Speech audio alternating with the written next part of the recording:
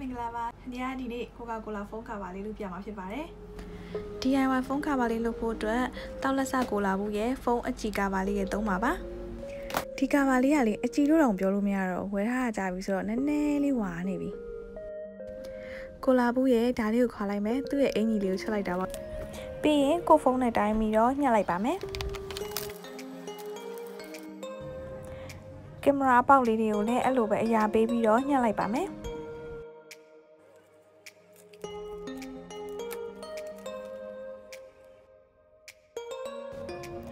ကကြီးနဲ့ညှက်ထားတာမညီသေးဘူးဆိုလို့ရှိရင်ဓာတ်နဲ့ပြန်ပြီးတော့လိုက်ညှိပြီးလို့ရပါတယ်ပြီးတော့ရင်ကောအပြော့လေးနဲ့အားလုံးကိုလိုက်ညှိပြီးတော့ကပ်ပါမယ်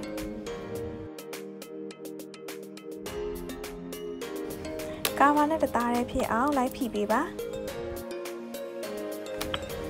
အခုဆိုလို့ရှိရင်တော့ကိုလာဖုန်းကာပါလေးရပါပြီ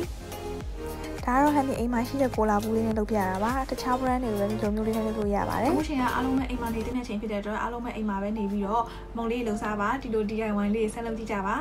အားလုံးပဲကျမ်းမာပျော်ရွှင်ကြပါစေဒီဗီဒီယိုလေးကိုကြိုက်နေတတ်တယ်ဆိုလို့ရှိရင်တော့ like and share လုပ်ဖို့မမေ့နဲ့နော်